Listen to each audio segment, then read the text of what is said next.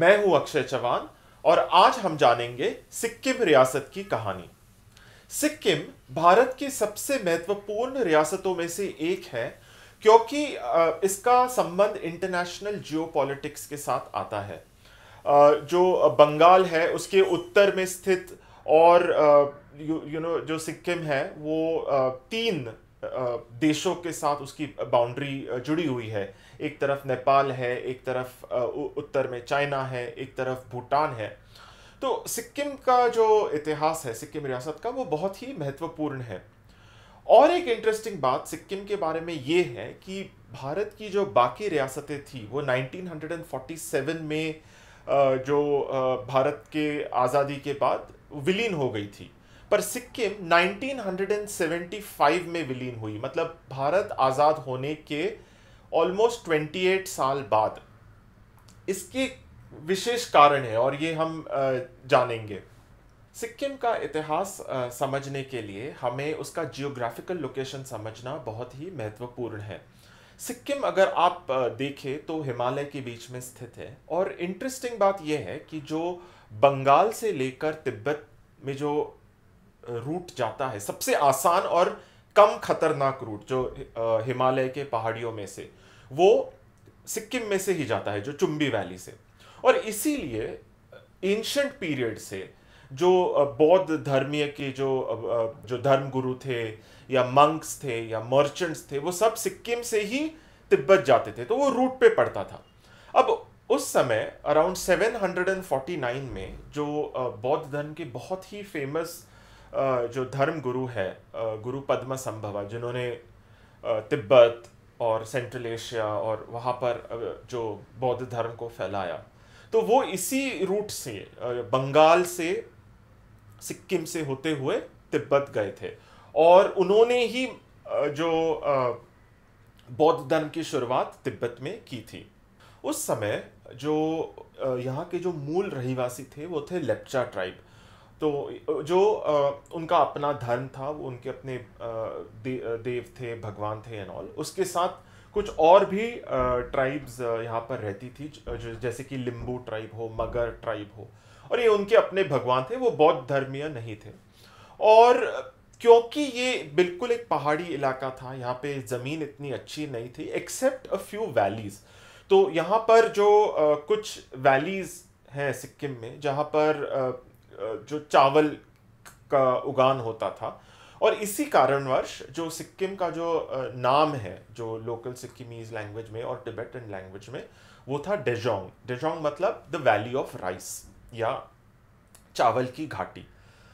तो इस तरह से यहाँ पर लेप्चा लोग रहते थे और चावल और उनके जो ट्रेडिशनल ऑक्यूपेशंस हैं वो आ, किया करते थे। सिक्किम रियासत जो है, उसकी शुरुआत होती है 1641-42 में।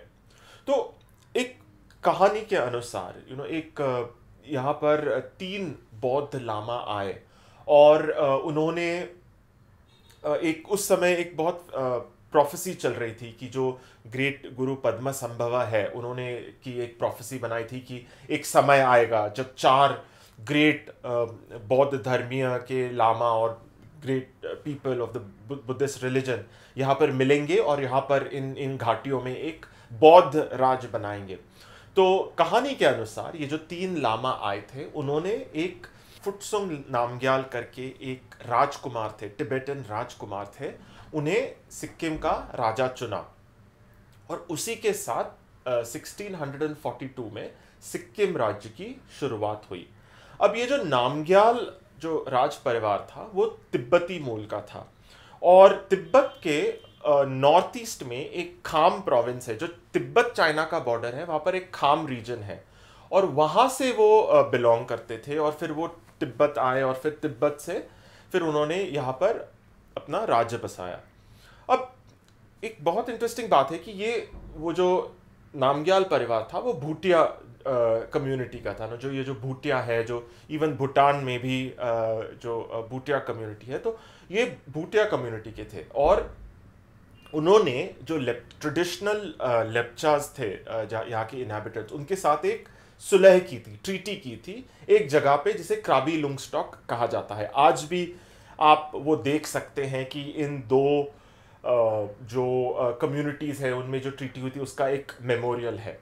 इस ट्रीटी के तहत उन्होंने प्रॉमिस किया था कि वो लेप्चास को अपना भाई बनाकर रखेंगे और ये जो भूटिया और लेप्चा है, वो मिलकर सिक्किम पर राज करेंगे। अब, ये तो बहुत अच्छी बात थी, पर इसके पश्चात तो हमें आगे भारत की स्वतंत्रता के बाद हमें काफ़ी देखने को मिले। एक बात ये थी कि लेप्चा जो कम्युनिटी के जो एल्डर्स थे, उनका मानना था कि ये जो फुटसुंग नामग्याल है, उन्होंने जब ये ट्रीटी की थी जो लेप्चाज और भूटियाज के बीच में, तब उन्होंने प्रॉमिस किया था कि हम लेप्चा धर्म और लेपचा के भगवानों को मानेंगे। पर जब उन्होंने अपना राज शुरू किया तो it became a Buddhist state और वो बौद्ध धर्म को मानने लगे। तो इसीलिए नामग्याल राज परिवार पर उनका श्राप है, उनके जो भगवान, लपचा भगवानों का श्राप है, ये उनका मानना था। और इसके भी हमें बहुत इंटरेस्टिंगली भारत के आज़ादी के बाद इसके भी हमें इफ़ेक्ट्स देखने को मिलते हैं। अठारहवीं शताब्दी में क्या हुआ? जो सिक्किम है, उसके दो बहुत पावरफुल नेबर्स दो दो साइड पे हुए। एक साइड पे थे नेपालीज और गोरखास, जो उस समय के सबसे पावरफुल फाइटिंग फोर्स थे। और उन्होंने काफ़ी सिक्किम की टेरिटरीज कैप्चर कर ली थी। इनफैक्ट आप अगर उनका वेस्टवर्ड एक्सपेंशन देखे गोरखाओं का तो वो लिटरली कांगड़ा और पंजाब तक वो मतलब पूरा उत्तरांचल, हिमाचल को पूरा कैप्चर करके वहाँ तक, कांगड़ा तक पहुँच गए थे। और यहाँ पर उन्होंने सिक्किम की भी काफ़ी टेरिटरीज को कैप्चर की। सिमिलरली जो भूटान था उन्होंने उन्होंने भी काफ़ी उन, सिक्किम की टेरिटरीज कैप्चर की। तो इसीलिए आप अगर देखें तो सिक, सिक्किम का एक वेरी पिक्यूलियर ऐसा शेप है एक ऐसा स्ट्रीट क्योंकि उसे एक्सपैंड करने की जगह ही नहीं थी। इसलिए वो ऐसा लंबा एक शेप है सिक्किम का। तो जैसे हमने आपको बताया कि जो अठारहवीं शताब्दी है तब काफ़ी जो गोरखाओं के इन्वेजन्स हो रहे थे तो सिक्किमीज ने तंग आकर अंग्रेज़ों से मदद मांगी। एंड विच वॉज़ जैसे हम बोलते हैं ना कि किस ऑफ़ द डेथ या पैक विद द डेविल तो अर्ली जो एटीन uh, हंड्रेड्स है तब जो सिक्किम के राजा है उसने ब्रिटिश ईस्ट इंडिया कंपनी से मदद मांगी कि हमें प्लीज़ नेपालियों के खिलाफ मदद कीजिए। अब ये ये वही समय था जब इवन अंग्रेज़ और नेपालियों की भी जो एंग्लो गोरखा वॉर जिसे हम बोलते हैं, या एंग्लो नेपाल वॉर वॉर वो भी चल रहा था। और उनको तो यहाँ पर इस क्षेत्र में घुसकर अपना अपना पैर जमाने का एक कारण ही चाहिए था। तो अंग्रेज़ बहुत खुश हुए। उन्होंने जो सिक्किम की मदद की और नेपाल के साथ मतलब जो लड़ाई हुई, उसके साथ एक ट्रीटी हुई। एंड 1817 में सिक्किम और जो अंग्रेज़ हैं, उनके बीच में एक ट्रीटी ऑफ़ फ्रेंडशिप हम बोल सकते हैं, वो हो गई। अब अंग्रेज़ों का सिक्किम में मेन इंटरेस्ट यही था कि ये तिब्बत जाने का सबसे आसान तरीका था। उस समय Tibet was a closed kingdom वहाँ पर पहुँचना आसान नहीं था, वो बहुत ही जियोग्राफिकली आइसोलेटेड एरिया था। हिमालय थे, एक तरफ़ तिब्बत के एक तरफ़ रशिया था जो एक्सपैंड कर रहा था, एक तरफ़ चाइना था और अंग्रेज़ों को कुछ भी करके तिब्बत पर अपना एक अधिकार जमाना था और इसीलिए उन्हें बहुत इंटरेस्ट था सिक्किम में।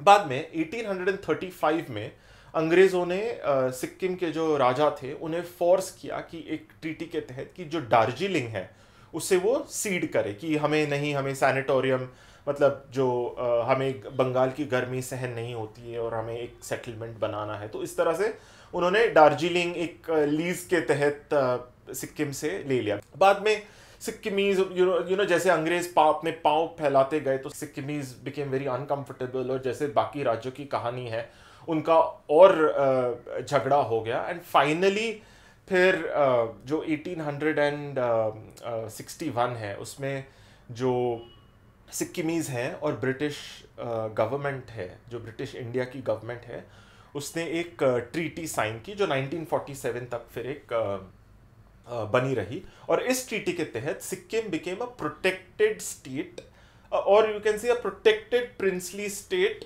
under the British Raj बीसवीं शताब्दी की शुरुआत में सर ताशी नामग्याल सिक्किम के राजा बने। और उन्होंने काफ़ी साल तक राज किया मतलब ऑलमोस्ट नाइनटीन सेवनटीन से लेकर लिटरली 1961 तक। तो वो उन्होंने उनका काफ़ी बड़ा कार्यकाल था। उन्होंने सिक्किम को डेवलप करने की कोशिश की यहाँ पे सड़कें बनाई स्कूल बनाए और एक अंग्रेज़ अंग्रेज़ों के साथ उनके काफ़ी अच्छे रिश्ते थे।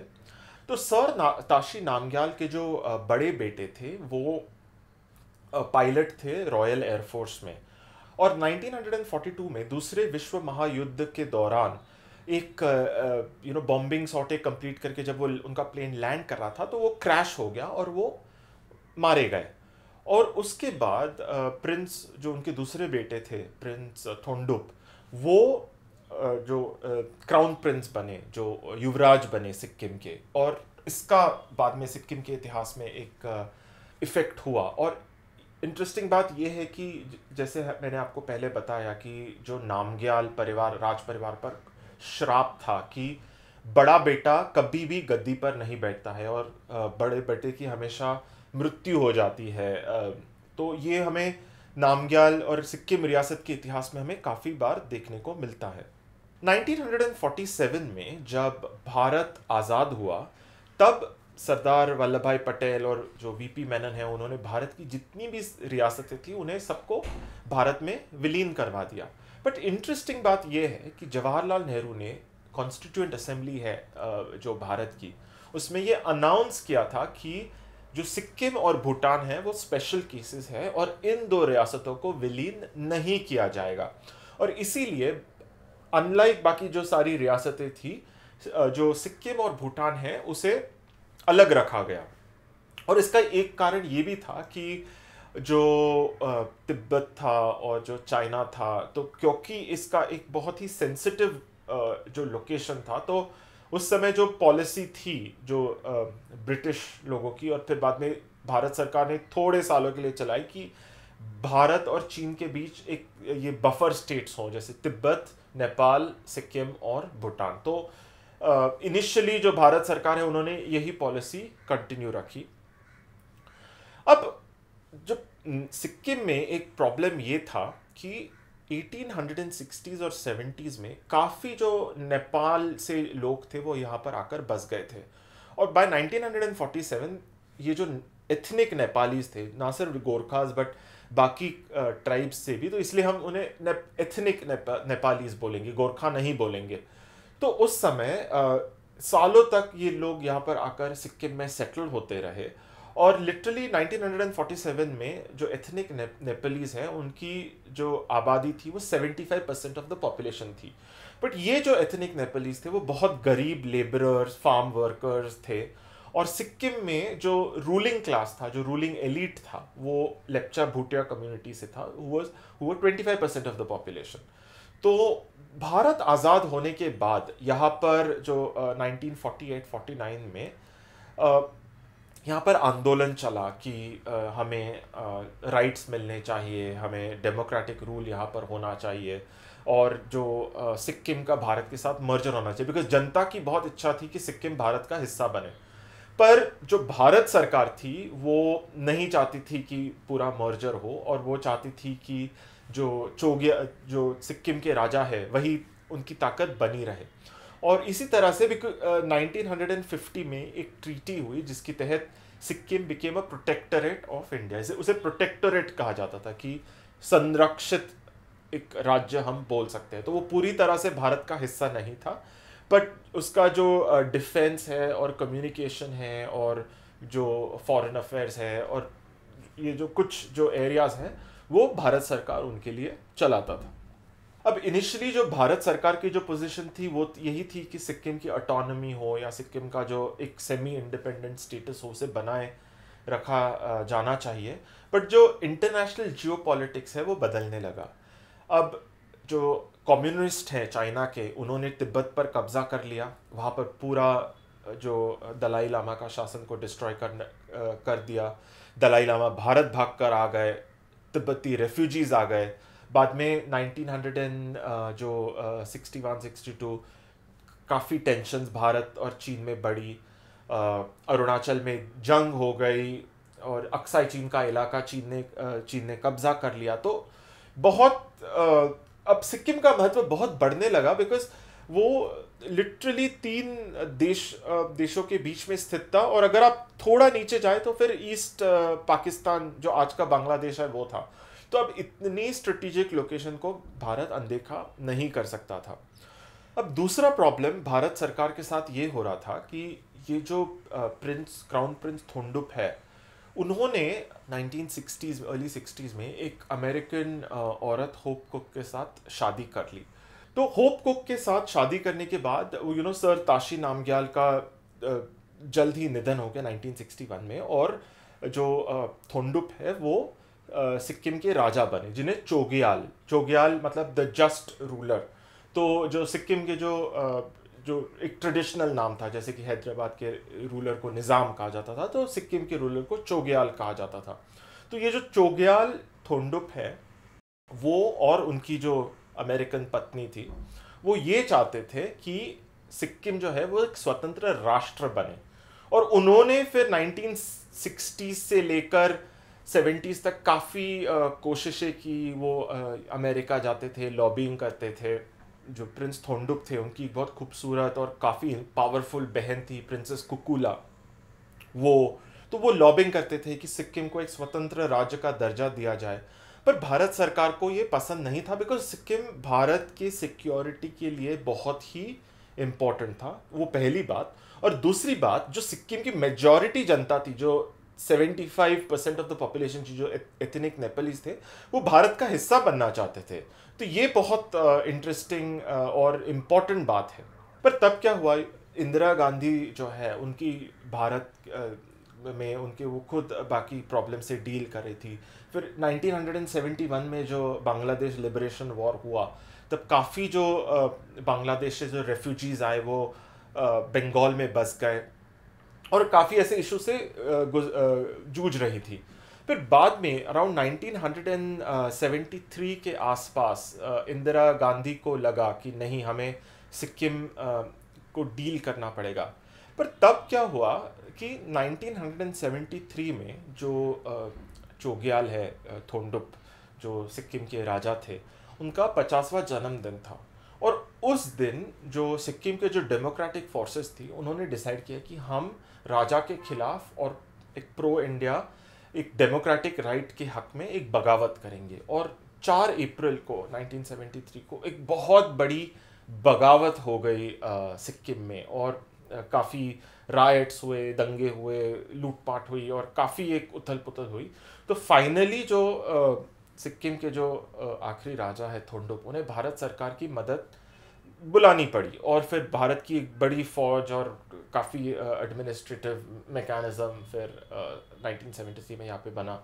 उन्हें डेमोक्रेटिक राइट्स कंसीड करने पड़े। आज सिक्किम जो है, वो भारत का अभिन्न अंग है। भारत का हिस्सा बनने के बाद 1975 में यहाँ पर काफ़ी डेवलपमेंट हो गया है। लोगों के पास काफ़ी उनकी इकोनॉमिक कंडीशंस काफ़ी इम्प्रूव हो गए हैं। और चोग्याल जो परिवार का महल है गैंगटॉक में और उनके जो परिवार के सदस्य आते जाते रहते हैं, वो कभी नेपाल, भूटान और गैंगटॉक में। तो ये थी कहानी सिक्किम रियासत की।